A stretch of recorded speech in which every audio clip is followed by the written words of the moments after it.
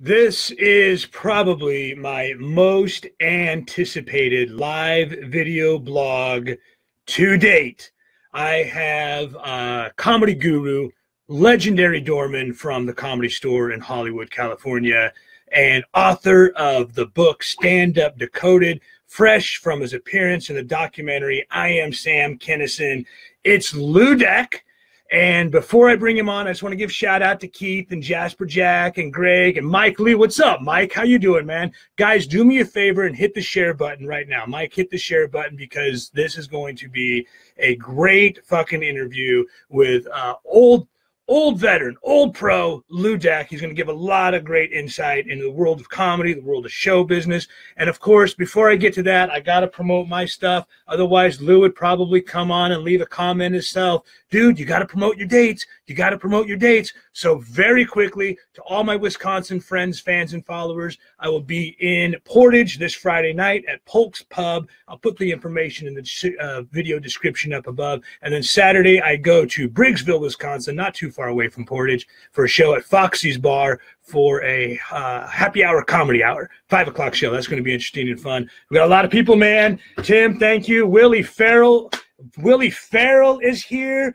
Uh, leave me some questions, leave me some comments. I'll be sure to pass them along to Lue. Lue Deck, man, calling in from Hollywood, California. What's going on, brother? Hi, JerDog. Nice to be part of the 420 report. Sometimes it's uh, Fox News is so oppressive you have to go counterculture. I go 420. Nice to see you, pal. Nice to be here. Well, thank you, man. And, you know, I've been following your stuff since I think we got linked up in a comedy forum here on Facebook. And you've always got great advice. It's just fundamental principles that you have a lot of that in your book, which I was reading, Stand Up Decoded. But I got to do it's more, it's less of a how to man- manual and more like a fucking manifesto. What was the inspiration to put all that together? Um, I came up to her in 97 uh, to L.A. Um, um, I live in Hollywood. Uh, I'm not in show business. I'm just here for the frustration. so, uh, having some downtime for the first time in many, many years, I made a point to, you know, start writing heavily. And then I did a 50 joke newsletter every week for 100 weeks called Poor Lue's Almanac, kind of after my hero, Ben Franklin, and uh, Poor Richard's Almanac, and it was basically jokes on any subject. I had seen a old compatriot improviser comedy teacher here in LA, and that he was teaching joke writing. And I went to his class to see what he was teaching, and he was good, but I don't use that. I came home and started writing, and then I was selling the newsletter for ten bucks each to radio stations, uh, uh guys that I knew on tour and letting them either say it was their joke or read my stuff. Mm, right on.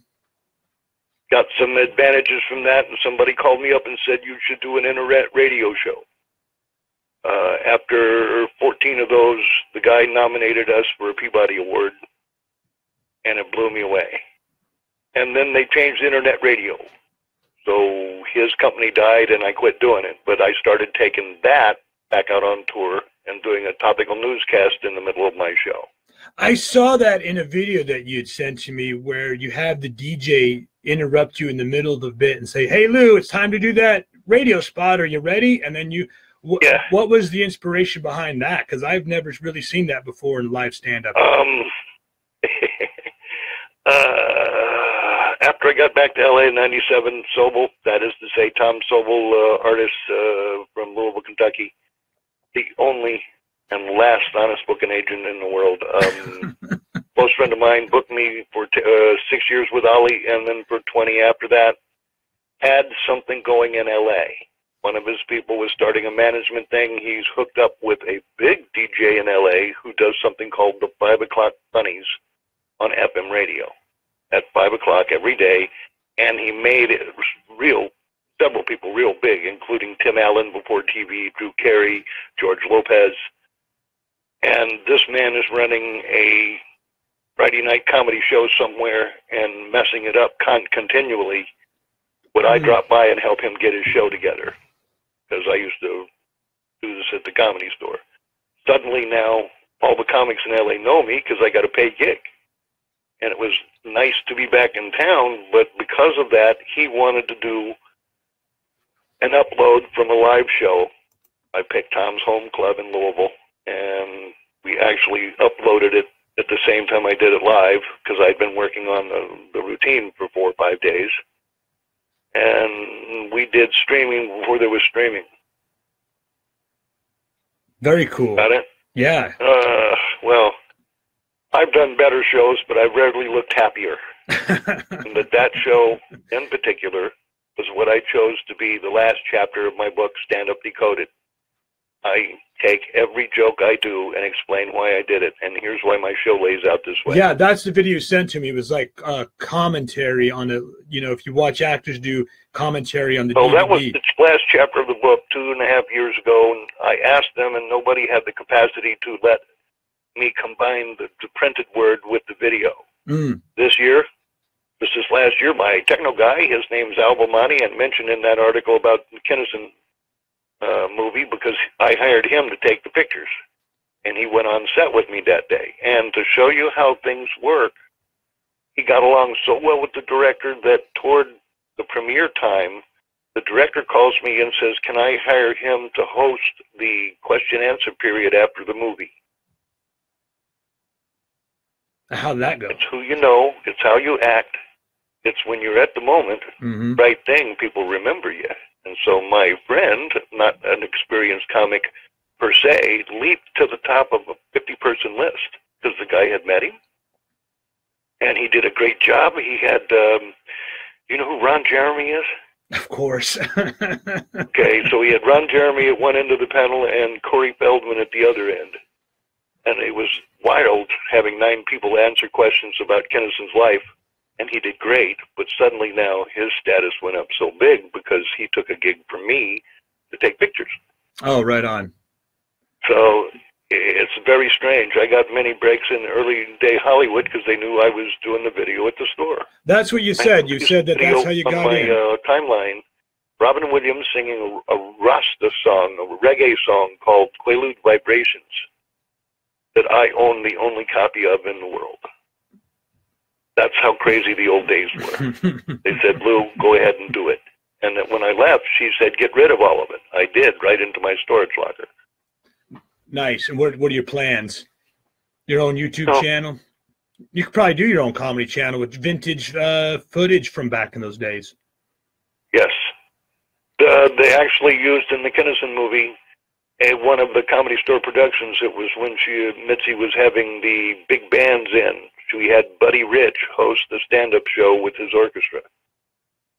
And turns out the front maitre d' doorman was Sam Kinison. So we got a still shot of, of Sam when he was nothing. What doorman like the rest of us. starting out as a doorman, just like everybody else. Willie oh, mean, Farrell there- says, There are comics in their comedy store doorman. Make no mistake about it. When she picks you, you get what 10 people in the country get. She picked me, I was very happy. I stayed seven, eight years, and I wouldn't have left if Ollie hadn't asked me to go on tour with him. mm, Ollie Joe Prater, the greatest comic I ever saw. uh, and what what made Ollie Joe the greatest comic you ever saw? He was a good old boy that made people laugh and didn't take no crap. After a while, he learned to talk in joke formula. yeah, it was the most powerful uh, comic I ever saw. I mean, uh, I'm a Richard Pryor and Robin Williams fan from up close, and they could not come close to doing what Ollie Joe did night after night. Now, Robin's great in, in Carnegie Hall. Would come down to Paducah, Kentucky with me, mm, and then and and then the next day Nashville, and then the next day Knoxville. They, there are star acts that never work hard. Ollie worked every night. He was out there doing those t- in, gigs. in a Can, thousand shows. Never saw him bomb. Never saw him give up. never saw him. Wow. Now he's taking some considerable rap about stealing jokes, and I'm not going to say that's untrue. But once I got with him, we, you know, I'm a mechanic, hmm and which is what I'd like to do with you, by the way. We took Ollie Joe Prater's act, the the saloon act, and uh, we ordered it up like it was a TV set, then 30 TV sets. Mm, then he could decide whether to do part three first or part 19 first or the set. And then after a while, it was just, it would blow people away. I learned he, I watched him for two years and said, How do you do that? And finally, I figured out something he didn't know he was doing. He would break timing and make them choke on a certain joke every night. But I had to watch it for the longest time to understand what he was doing was a linguistic public speaking trick, and it was funny how how long did it take for you to put together that formula? You mentioned it in stand up decoded. There's definitely a joke writing formula and oh. it's it's not just subject to inspiration. People it's a repeatable process just like working in a factory job. You just got to clock in do the fucking work and you can come up with gobs and gobs and gobs of material you know, who knows what'll hit out of all that, but there's definitely a joke writing formula, and you do a really good job of breaking it down in the book, I think. Well, uh, after 42 years of stand up, if I want to do anything now, it's quantify the lessons I learned. I keep looking at my career because I'm first, let's clarify, I'm an obsessed Virgo with an orderliness complex. Mm. My socks and underwear drawer are perfectly straight. I traveled in a tour van for 12 years with three sets of clothes, two sets of golf clubs, and a sleep pad. If you don't have your crap together, you're not going to be that good on stage. So it became a matter of a scientific thing. Did I say it right tonight? I think it's funny. They were, I wouldn't be saying it, but you know, there's a whole process on trying things out. But in the act, I'm from real show business where they want to know they can count on you. And if they don't know what you're going to do and you don't know what you're going to do, you're simply not going to be in that movie or TV show. Mm, they only yeah, hire people sure. to do that. So at some point, sitting in the back hall of the comedy store, the talent coordinator of the Tonight Show would come in and watch comics and stand there and curse them for the mistakes they were making not getting ready for TV. Those that listened got the Tonight Show, including one of my best friends, Argus Hamilton, and after his first Tonight Show to organize, you know, of course, you get your big break, you go do your best 5 mm-hmm. Argus did did well. They, they invited you back a month later, and we had to prepare the set according to the rules of the talent coordinator who knew what Johnny liked. Part of that was getting rid of excess words, how long between the laughs. And out of that generation, a phrase was born, laughs per minute. What do you think of that? I'm, I'm a firm believer. I have my show on Stand Up Decoded that supports this is 26 minutes and 100 laughs. I work fast. I keep going. And that regardless of the weight of any one joke, I know in the end I can bring the crowd home. The, the aggregate of the whole I'm a laughter guy. I, I'm.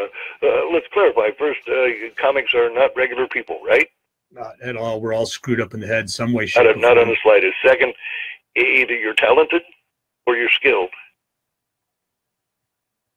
Right? I'm not talented. I had to learn to be skilled.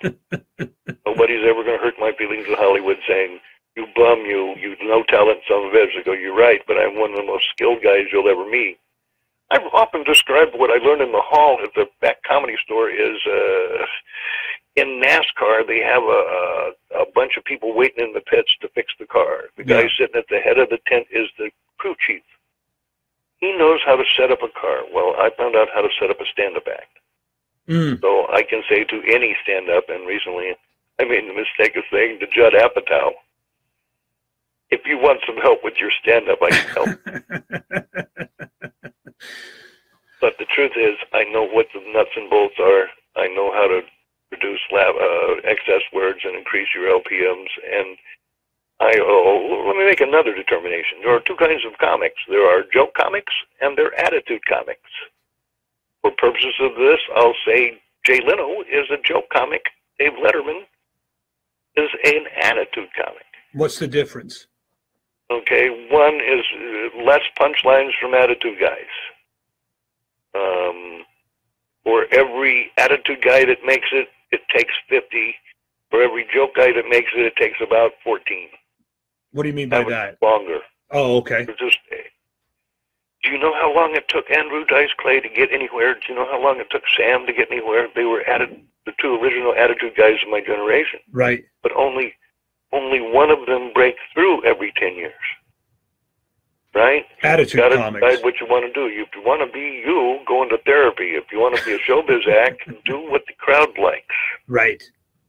Can you do both? Uh, I think some artists can, and it's like being in the zone on a basketball court. hmm Any any Yeah, practitioner will hit the zone from time to time because you know what you're doing.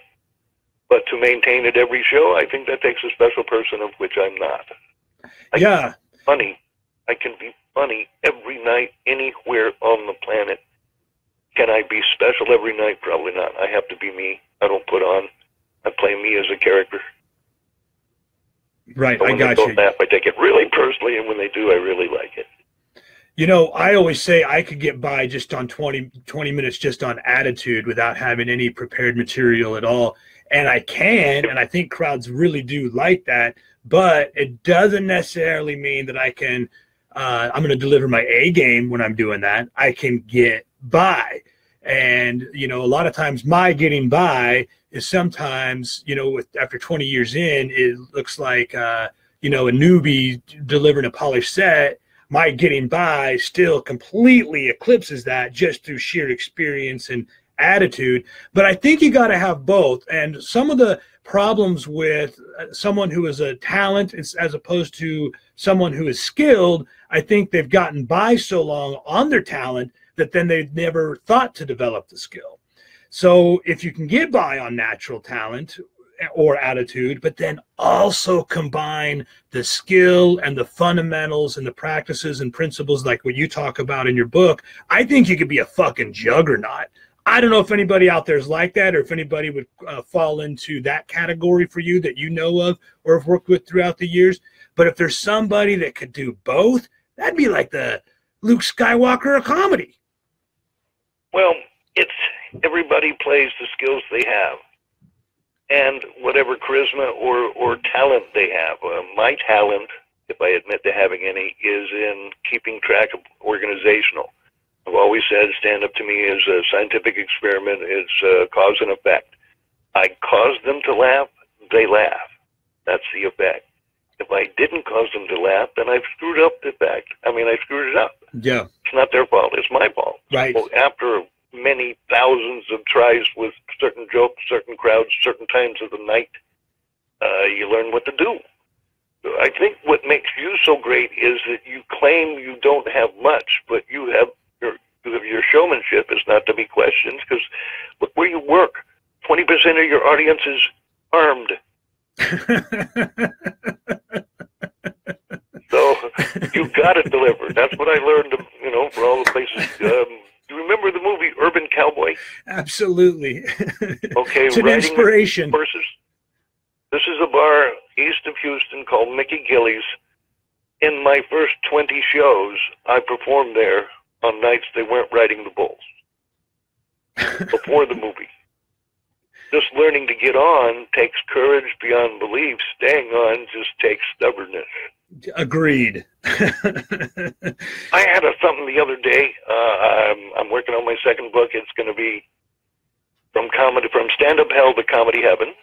hmm which are two paintings uh, um, Nikki Shane, artists stand up, uh, have done and sit in my office, and I sit between them every day. But this is going to be less lessony and more uh, stories I learned. And at, at some point, you have to say, what were you doing that, that happened? And something good came. So I'm looking at every little corner I turned in my life and finding why. I like that. First, the luckiest guy I ever met. They called me to do the Kinison movie, and I said, no, I'm mad at Sam. and they called me back again, and they called me back again. So uh, I did it, but then it turns out to be, God, I've got um, stand-up students in Nigeria that heard about it. Right on. Yeah, man. It's and I can't wait to see it if I can ever get it myself a copy of it. I don't know where it's available, but uh, I've seen I've heard nothing but good reviews. Well, they have printed and made the DVDs already because they sent me one. Um, first, Google it. Uh, second, it's going to come back. I think what they're they're looking for a couple of theater releases to qualify for awards. Right. and then it will it will be back on. Did you know Spike TV ended and is now Paramount TV? Yeah, that's what I heard. I don't have cable, so I don't keep up too much with it. I think I just heard that through the article you sent me. Just on. You still there? Yeah, I'm sorry. Um, um, I missed the last thing you said. Tell me again. I said I don't have cable TV, so I think I just found out about the Spike TV thing Okay. going. Knowing the article. way the internet works, I bet somebody's selling it somewhere. If not, Yeah. um, I'll see what I can do. Hey, and we're almost at 20 minutes. You've graciously given me so much of your time, and I can't wait to do this again someday if you'd ever agree to it. Well, know? It's so I'm fun. sorry to talk so much. We'll do this again, and you can talk more. no, dude, I was taking notes. Uh, but the question that came in from Willie Farrell. Do you know Willie Farrell? Uh, the name is familiar to me.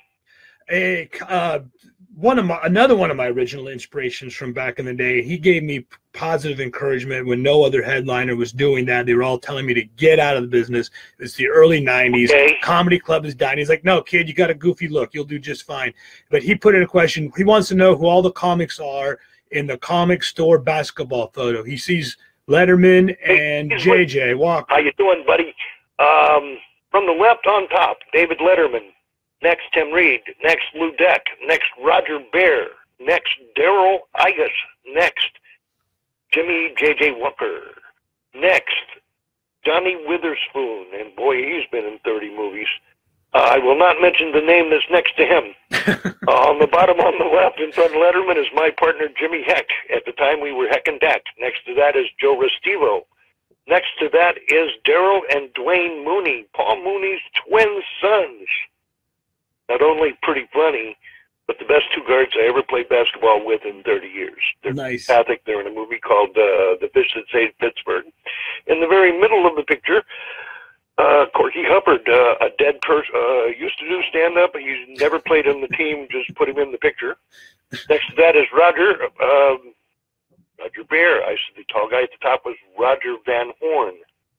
And the next to Roger Bear is uh, Jimmy O'Brien. Jimmy O'Brien from O'Brien and Severa and O'Brien and Valdez, and now Jimmy O'Brien.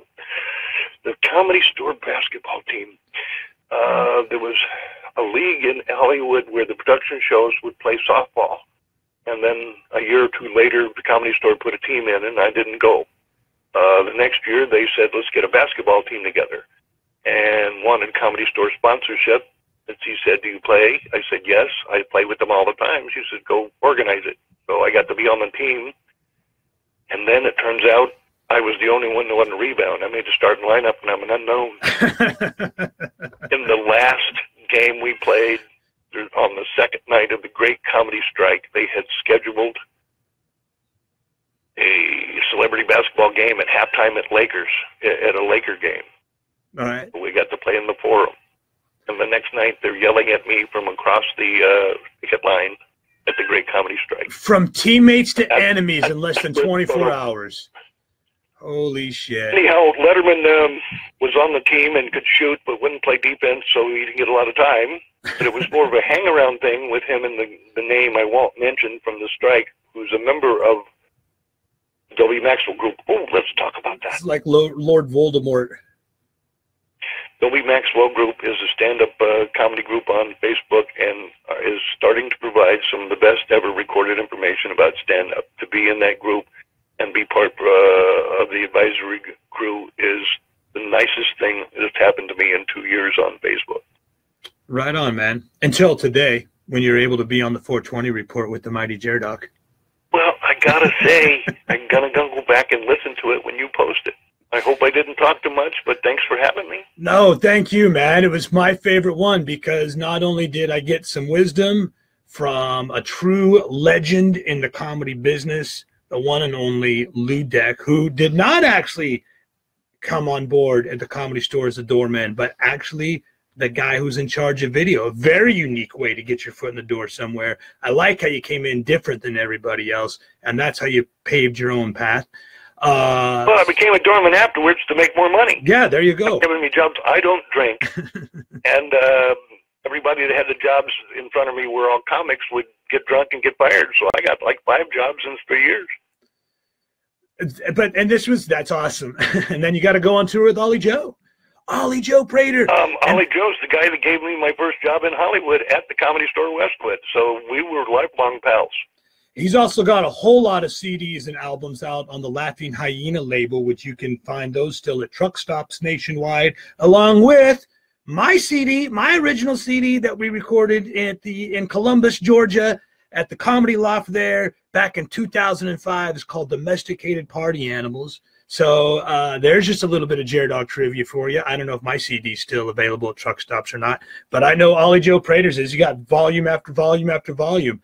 So, dude, I learned a lot, man. And this is my favorite video blog 420 report yet because you did get to do most of the talking. I just got here to sit here and listen and learn. We got a lot of fun people that tuned in and, and watched and commented. And thank all you guys. Thank you, Willie, for the question. And let me ask else. one thing before you go. Yeah, what's up? We can keep Are going you... too if you want. Oh well, uh, no, I just uh, let me redirect out of blue into JerDog. Here. Mm-hmm. I'm a fan of your show because you keep working. I'm a firm believer the more times you do something, the better you get at it. This show has gotten better and better and better. What you're actually learning to do is your own show on NBC at 3 a.m. So keep doing what you're doing, bring some more material and a little more funny. But what you're doing is teaching yourself how to do it. That's my favorite thing about comedy. You can teach yourself to do it. And that includes be happy. So I think you found a way to make yourself happy. I have. Let's help the people listening and the people that learn. Make yourself happy because nobody else is going to do it for you. If I can't do it for myself, I listen to the 420 report. Thanks, Matt. I love it. That's actually a really good way to wrap this up. And thank you guys right now who is still on the line watching. Um, I'll be back tomorrow, probably a throwback Thursday. Who knows what I'll come up with for tomorrow? Probably something to rant and rave about, you know, attitude comic and all. hey, Lue, thank you, man. Once again, you gave me way more than the 20 minutes that you had promised, and I really appreciate it, dude. I can't say that more. I can't say that. Did you see enough. the comment from Chip Sobel? I did. Does he even have 20? yes, well. How dare you, Chip? Well, I can't, he, I can't go near him without taking a shot and giving a shot. We have a $2 bill war going on for almost 25 years. And when I was in Louisville for Tom's birthday in August last, as I got on the plane, some airline officials stopped them from closing the door to walk on and ask where I was and hand me an envelope. And Chip nailed me with a $2 bill and flying out of town. Got me. Nice. Scores four to two, and I got to get him back. If near Louisville, I'll pay you good money to slip him a two dollar bill. We just had a whole bunch of likes and loves go across the screen. I'm pretty sure that's Chip right now. So there you have it. Funny. Shout out to Chip Funny. Sobel. So what happened was I'm in Memphis. Uh, they open a new club. They bring in the Harry Blackstone Jr. to open a comedy club, and just me and him, and me to set him up. And they paid him so much they closed after the first weekend. And so they didn't have enough money to pay me. They gave me a bucket full of quarters, which I drove straight to Louisville, sat on Tom's desk, who handed it to Chip and had to go to the bank, and Chip brought me back $200 in $2 bills. Two days later, his car breaks down because it turns out there's a $2 bill inside his carburetor. And the game is afoot. I'm sitting next to my my desk. I haven't seen him since August, and I have ten two dollar bills here. If I hear he's in the state, I'll pay money to have somebody stash one on him. At any rate, it's a crazy life. What I have, JerDog, here's what I've learned in the last three years that is so important. I wrote that book, and I had to realize what I'd been through and how lucky I was and where the decisions turned. But writing the book was better for me than all of the stand-up comedy. So my lesson to you is, sir, write a fucking book. Mm. Like I did. I wrote short stories and then put a thread between with comedy lessons. It doesn't all have to be your history. It, just write what happened to you. You've been through so fucking much. Mm-hmm. You got a book, bruh. And once you got a book, you might have a movie.